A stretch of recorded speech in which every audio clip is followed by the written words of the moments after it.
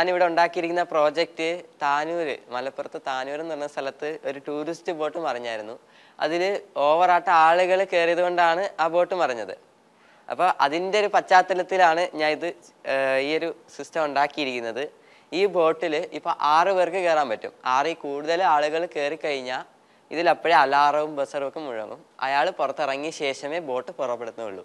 അപ്പോൾ ആ രീതിയിലൊരു സെറ്റപ്പാണ് അപ്പോൾ നമ്മൾ ആദ്യത്തെ ആളെ കയറ്റുമ്പോഴത്തേക്ക് ഇവിടെ കൺട്രോൾ റൂമിൽ ആറ് എൽ ഇ ഡി ഉണ്ട്. അതിനകത്ത് ആദ്യത്തെ എൽ ഇ ഡി കത്തുന്നതാണ്.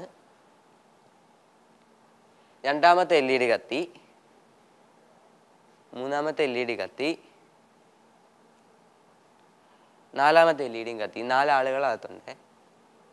അഞ്ചാമത്തെ എൽ ഇ ഡി കത്തി.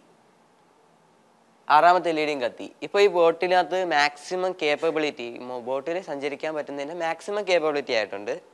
ഇനി ഏഴാമത്തെ ഒരാൾ കയറാൻ പോവാണ്. അപ്പോഴേ ബസർ അടിക്കും. ബസർ അടിച്ച് ഇയാൾ പുറത്തിറങ്ങാതെ ഈ ബസർ നിൽക്കത്തില്ല അങ്ങനത്തെ ഒരു കാര്യമുണ്ട്. ഇയാൾ പുറത്തിറങ്ങി കഴിഞ്ഞാൽ ബസർ നിൽക്കും ഇനിയും കൂടുതൽ ആളുകൾ കയറുവാണെങ്കിൽ ഈ ബസർ ഇങ്ങനെ അടിച്ചുകൊണ്ടേയിരിക്കും ഇനി എട്ടാമത്തെ ഒരാൾ കയറിയാൽ ഒരാൾ ഇറങ്ങിയാലും ബസർ അടിച്ചുകൊണ്ടേയിരിക്കും ആ രണ്ടുപേരും ഇറങ്ങി കൃത്യം ബോട്ടിനകത്ത് ആറ് പേരാകുമ്പോഴേ ബസർ നിൽക്കത്തുള്ളൂ